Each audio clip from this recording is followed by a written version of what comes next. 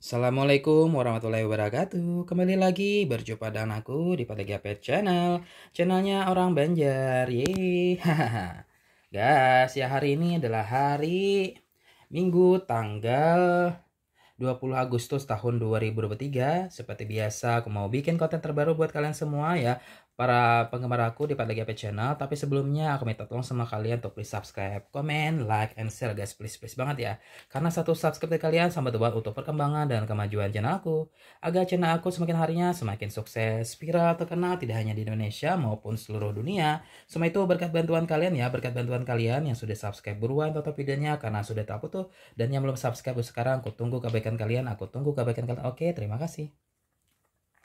Jadi ini ada komentar di kolom komentar YouTube aku ya dari penggemar aku, subscriber aku dan dia juga adalah ya uh, cat lovers yang lumayan banyak nih melihara kucing peliharaan di rumahnya ya. Beberapa di antaranya adalah kucing ras dan juga ada kucing kampung. Nah, dari sekian banyak kucing peliharaannya tersebut ya, nah ada salah satu kucing peliharaan tersebut yang akhir-akhir ini suka marah-marah dan ketakutan, trauma juga. Entah itu berasal dari apa dan bagaimana kejadiannya ya. Namun ini membuat si pemilik kucing tersebut merasa takut dan gelisah ya, khawatir juga, cemas juga ya akibat perubahan sikap yang dialami oleh kucing tersebut ya. Tiba-tiba marah dan ketakutan trauma gitu. Lalu si pemilik kucing ini bertanya kepada aku ya, kakak ya, apakah tahu alasan ya kucing itu tiba-tiba marah dan ketakutan ya penyebabnya apa dampak positif dan negatifnya apa ya lalu bagaimana ya cara menenangkan kucing, mengatasinya juga dan mencegah kucing ya yang suka marah-marah dan ketakutan ya. Mohon jawabannya ya kak ya. Wah, menurut aku pertanyaan sangat bagus untuk kita bahas pada video kali ini, tapi videonya ditonton sampai selesai dan jangan di skip ya, oke? Menghadapi kucing dalam kondisi mood yang tidak baik memang akan merasa menakutkan. Nah, bagi Baiknya bagi pecinta kucing atau bukan, bahkan kucing yang biasanya tampak lucu, lucu dan menggemaskan, dapat seketika berubah menjadi kucing yang agresif dan tidak jarang dapat menyerang kita sebagai pemiliknya. Nah, ada beberapa faktor penyebab kucing agresif ya. Kucing dapat merasakan perasaan kesal, marah, ketakutan, dan juga kecemasan yang disebabkan oleh beberapa hal. Seperti bertemu dengan kucing liar, orang asing, atau adanya perpisahan. Nah, penyebab lain yaitu kucing sedang berusaha untuk melindungi dirinya dari bahaya. Biasanya hal ini ditemukan saat kucing baru diadopsi. Karena tidak mengetahui bagaimana kehidupannya sebelumnya. Nah, cara merawat kucing yang baru diadopsi perlu berhati-hati dan telaten ya guys. Nah, kucing yang sedang dalam kondisi kesal biasanya akan mengeong-ngeong dengan suara yang keras, mengeram atau bahkan berlari-larian. Jangan biarkan kucing kalian dalam kondisi tersebut pada waktu yang lama. Nah, dalam hal ini ya, kucing butuh untuk ditenangkan. Tenangkan kucing kalian dengan tetap mengawasinya dan memberikan waktu baginya untuk sendiri. Apabila kedua hal tersebut belum juga berhasil, kalian dapat melakukan beberapa cara untuk menenangkan kucing. Oke, yang pertama, utamakan kesalahan, utamakan keselamatan kalian dan kucing.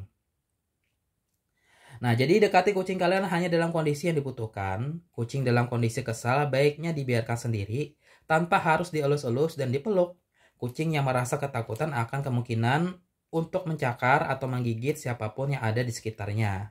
Nah, kalian dapat mendekati kucing dengan berhati-hati dan untuk berjaga-jaga, sediakan bahan kain atau handuk untuk menangkap kucing. Yang kedua, berbicara dengan suara yang tenang. Kalian bisa coba untuk mengatakan misalnya, pus sayang sih. Tunggu beberapa saat sampai kucing merasa tenang biar si kucing menyadari bahwa tidak ada yang memiliki niat jahat atau menyakitinya, sehingga si kucing pun tidak menganggapnya sebagai sebuah ancaman. Yang ketiga ya, alihkan perhatian dan buat kucing mendekati kalian. Ma, pancing kucing kalian mendekati kalian, nah kalian bisa memberikannya beberapa jenis makanan kucing. Namun biasanya kucing akan terugah perhatiannya saat kalian berikan makanan yang basah, seperti ikan, dibandingkan dengan jenis makanan kering. Namun pastikan makanan yang diberikan tidak berbahaya Kenali jenis makanan yang berbahaya bagi kucing agar kalian tidak salah memberikannya. Yang keempat, ini pindahkan kucing ke tempat atau ruangan yang sepi.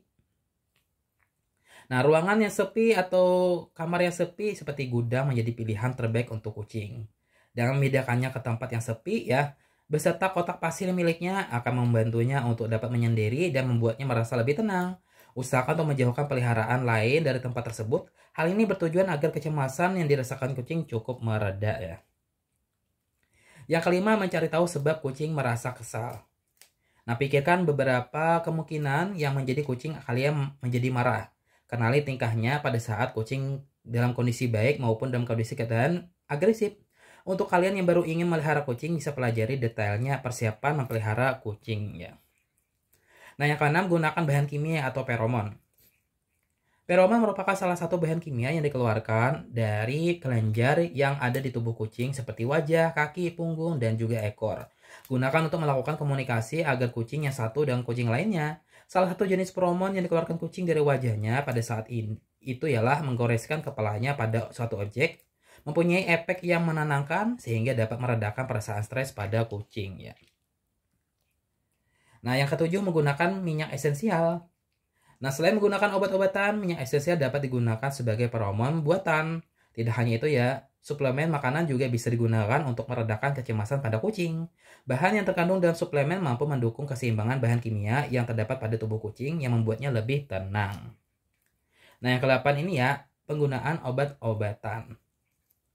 Nah, beberapa kucing mempunyai susunan kimiawi yang tentunya berbeda-beda, sehingga dibutuhkan ya penggunaan obat-obatan guna menenangkan dari ketakutan ataupun kecemasan yang menyebabkan kucing dapat merasakan stres. Nah, terdapat beberapa pilihan obat jangka pendek yang bisa digunakan untuk keperluan, salah satunya seperti kucing yang harus menghadapi perjalanan menggunakan mobil. Pastikan menggunakan obat yang diberikan sesuai dengan anjuran dan resep dari dokter hewan. Yang kesembilan, pertimbangkan penanganan jangka panjang. Nah, jika kucing kalian memiliki merasakan kecemasan yang terlalu sering dalam jangka panjang, pemberian obat jangka panjang pun harus diperlukan. Dengan menggunakan obat yang tepat dapat membuat hidup kucing merasa lebih baik dan menyenangkan. Nah, dalam penggunaan obat-obatan yang diberikan, usahakan untuk tidak dihentikan secara tiba-tiba karena ada efek yang merugikan ditimbulkan oleh kucing tersebut. Cara yang tepat ialah dengan mengurangi pemberian obat secara bertahap sehingga memberikan kesempatan bagi tubuh kucing dapat menyesuaikan dengan adanya pengurangan dosis obat. Nah, yang berikutnya adalah tips-tips lainnya adalah ya. Pada saat kucing melarikan diri dan melakukan persembunyian, berikan waktu untuk menenangkan diri. Hindari mengelus kucing yang sedang dalam kondisi marah. Apabila kucing kalian memiliki mudah merasa ketakutan, coba putarkan jenis musik klasik sehingga bisa menenangkan kucing. Agar tidak terkesan mengintimidasi ya, duduklah di hadapan kucing dengan posisi sudut 45 sampai 90 derajat. Nah, biarkan si kucing bergerak-gerak bebas dengan meletakkan makanan dengan jarak berbeda beberapa langkah dari kucing.